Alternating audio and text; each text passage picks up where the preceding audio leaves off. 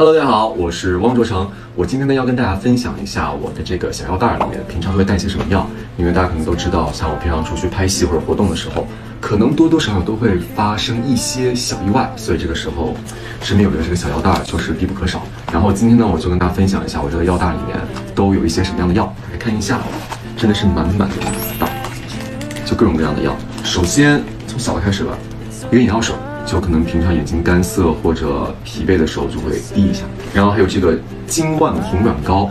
我之前拍一个厨师的戏的时候，我就把手烫伤了，然后这个时候就需要这个烫伤膏，下一个是这个驱蚊水。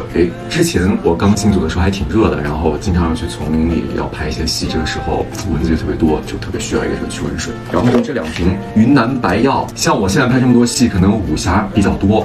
就是一些武林高手，这个时候拍打戏就经常就跌打损伤，这个时候就喷一些这个云南白药，还是挺管用的。还有什么呢？哦，这个去渍皮，可能平常出去吃饭的时候不小心把这个饭弄到衣服上了，你就可以拿这个赶紧把它涂一涂，涂一涂，涂一涂，涂一涂，然后可以补救一下，可能不会那么脏。这个特别好用，这个一般都是好像是被蚊子咬了之后，就是涂上去，它可以及时的把你那个包消下去，然后不会那么痒。我觉得这个还挺管用的。下一个啊。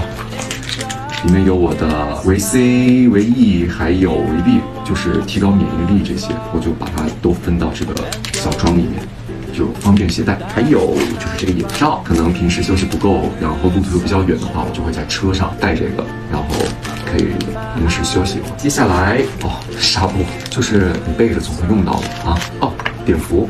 之前也有几次拍戏，就突然拍打戏，什么手啊或者什么腿啊磨伤了、擦伤了，就需要用这个碘伏先消毒。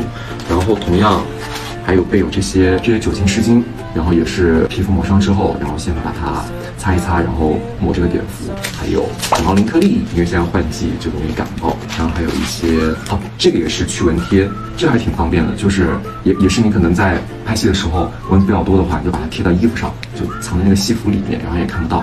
然后可以达到一定的驱蚊效果。创可贴、双牛精、消炎药必备，然后还有一个眼药水，因为我之前眼睛有点发炎，然后我就会滴这个眼药水。还有一个 N95 的口罩，虽然现在疫情好一些，但是大家出门还是要记得戴口罩哦。好的，没了。好，今天我的小药包开包视频就录在这儿，希望大家无论是出去户外游玩的时候，还是平时在家的时候，都要必备一些像这些常备的药。祝大家吃好，拜拜，下次见。